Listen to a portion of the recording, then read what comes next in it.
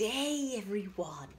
I hope you're ready for another one of my favourite nonsense poems by Edward Lear. Oh, fantastic! Today, let's read The Duck and the Kangaroo.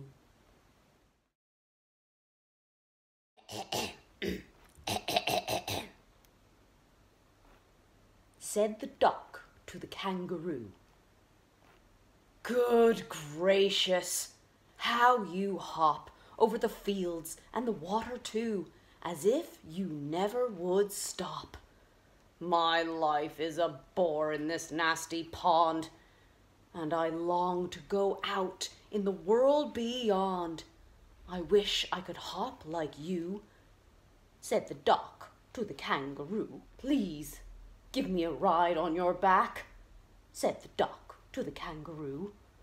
I would sit quite still and say nothing but quack the whole of the long day through. And we'd go to the Dee and the Jelly Bo Lee, and over the land and over the sea. Please let me ride, oh do, said the duck to the kangaroo. Said the kangaroo to the duck, this requires some little reflection. Perhaps, on the whole, it might bring me luck. And there seems but one objection, which is, if you'll let me speak so bold, your feet are unpleasantly wet and cold, and would probably give me the rheumatiz, said the kangaroo, said the duck. As I sate on the rocks, I have thought over that completely, and I bought four pairs of worsted socks, which fit my web feet neatly. And to keep out the cold, I've bought a cloak, and every day a cigar I'll smoke, all to follow my own dear true love of a kangaroo, said the kangaroo. I'm ready, all in the moonlight pale.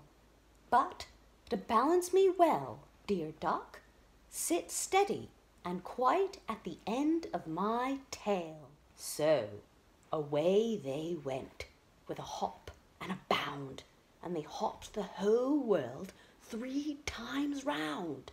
And who so happy, oh who, as the duck and the kangaroo?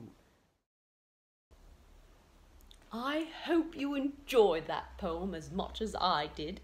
I particularly liked the bit when they hopped around the world three times round. well, I hope to see you all very soon. Bye bye.